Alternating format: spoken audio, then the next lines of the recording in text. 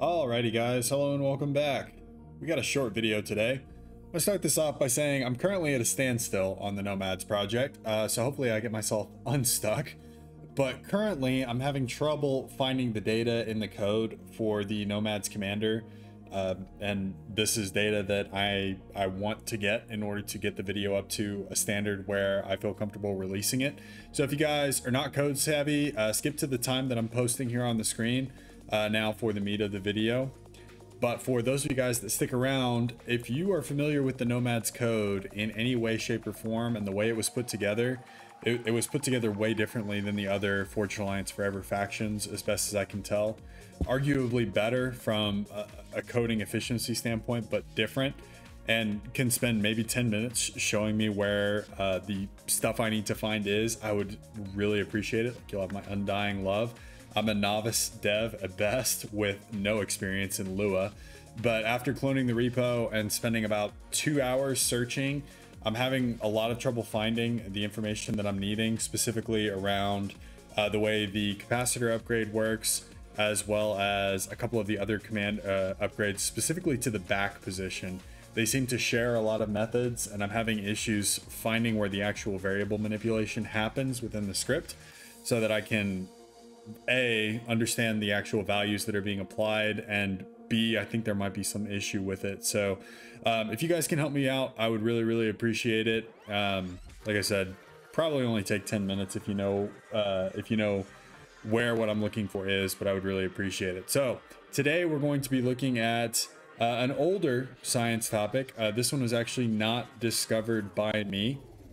Um, so Huge shout out to Scooby for finding the topic and for Cheeseberry on the Forged Alliance Forever forums for doing the research on this, honestly. So Scooby brought it to my attention. Cheeseberry has already done a good amount of research, and uh, I'll link the um, forum post in the description below if you guys are interested in watching any of his footage. He had a couple of video clips, didn't post it to YouTube or anything. Um, there were only 260-ish views though on the forum post, and considering there are thousands of you that play the game, and a good chunk of you guys watch my channel, I did want to publicize this a little bit more because I do think it's important. But regardless, I've linked his work down in the description below. Super important to me. I don't want to take credit for uh, any work that's already been done. I just want to bring it to y'all's attention. So today we're going to be talking about T1 point defense and walls. This is a super common template that you see all over the place. I use it, everyone uses it. It's a T1 point defense surrounded by eight walls. Now, if you are new to the game, first off, welcome to the greatest real-time strategy game of all time. Um, the reason players do this, because this might look a little bit weird if you're brand new to the game, especially if, well, actually, if you play Age of Empires 2, there's there's a similar tactic within Age of Empires 2 that prevents you from researching that makes it so that your towers can fire at the base without researching murder holes. But anyway, I digress wildly. Um, it allows the purpose of it is to insulate the T1 point defense from direct fire from things like tanks, things like Mantis, etc. It can help a T1 point defense survive a lot longer. It unfortunately doesn't help against artillery or anything that has kind of an arcing shot, so mobile missile launchers, mobile artillery, static artillery, things like that not going to be super effective against that, but it is very helpful at the T1 phase against T1 main battle units. So looking at the setup from the ground level, we're going to be comparing all four factions here. Uh, it would appear that the Seraphim is going to be in the best situation, looking just at the unit models. The walls are almost as high as the point defense itself, and the Cybran is going to be on the worst side with the UEF and the Aeon sitting somewhere in between because the Cybran, the point defense six, uh, sticks out kind of like a sore thumb over the actual walls. Um, our tests were conducted with Auroras, Strikers, and Thaams sitting behind a shield to attack the point defense. So the point defense is just throwing into a shield. Reason being, I wanted to make sure that there was uniform damage across the board, and the Seraphim shields do a really good job of absorbing a lot of damage. So contrary to our initial results, our, our initial kind of look at the models, the actual results in practice tell a very, very different story. The Aeon point defense is entirely impervious from any enemy fire until one of the wall sections is destroyed, which is incredibly impressive. a lot of times you will find that there will be certain amounts of damage that will make it over or through the walls due to the way that the hitboxes are set up. This is not the way, this is not the case in terms of the Erupter as well as the walls surrounding it. So the Aeon, clear winner here.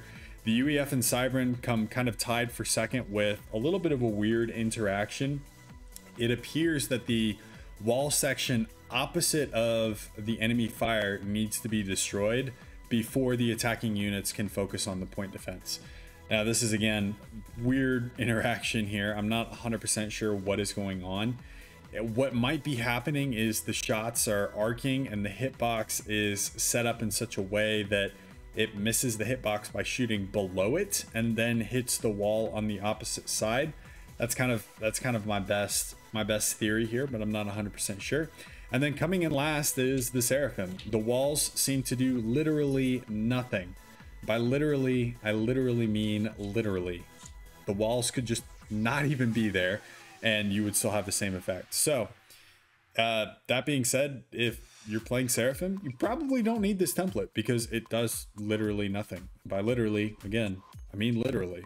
So why does this happen?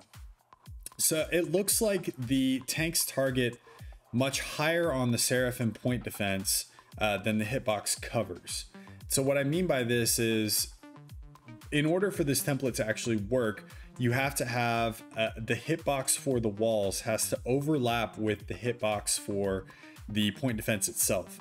And that has to create some sort of blocking for the units that are attacking. So whenever you set up a, game and whenever you're coding a game, there it's very rare that your hitbox is the entire model. A lot of times there will be a specific point on a unit that uh, an attacking unit will target then it will register a hit if it hits that particular hit box. That's why we that's why we call it a hit box. In this particular instance, it looks like the hit box for the Aeon the Aeon walls overlaps with where the units are targeting on the Aeon PD in a perfect fashion. So there's there's no uh, chance that any shots are going to be missing in that particular scenario. On the opposite side of the equation, on the Seraphim side, the hitbox is very low on the model. So it is actually in line with the uh, Aeon walls. The attacking units will target Seraphim and Aeon walls very similarly in a very similar spot on the model relative to the terrain itself. But the difference on the Seraphim side is the hitbox is placed very high on the actual Seraphim point defense itself which means that even though there is a model in the way that a tank is just going to shoot through that model and hit the point defense on the other side. So weird interaction there. And uh, goes to show you that it goes to show you that there's a little bit more behind the scenes rather than just the size of the model in terms of how damage is actually registered within games. So I find this super interesting. I took a crack at making an RTS game a long time ago, like a couple years back and realized that it was a monumental undertaking and decided that my time could be better spent elsewhere. But this is one of the things that I struggled with a lot was the hitboxes on my units and how I would actually register and make those interact with each other. So um, from a balance perspective, I think this is in a pretty good spot, honestly, just because uh, the Aeon T1 units are designed to run away and have like a controlled retreat. So having a hard point to fall back on could be very, very helpful for them. Anyway, that's about it for today, guys. Uh, it was a shorter one today. I really hope you guys enjoyed it. Again, once again, huge thanks to Cheeseberry for putting together the research on this one, and huge thanks to Scooby for bringing it to uh, my attention. And that's it for today, guys. I hope I'll see you guys in the next one. Peace.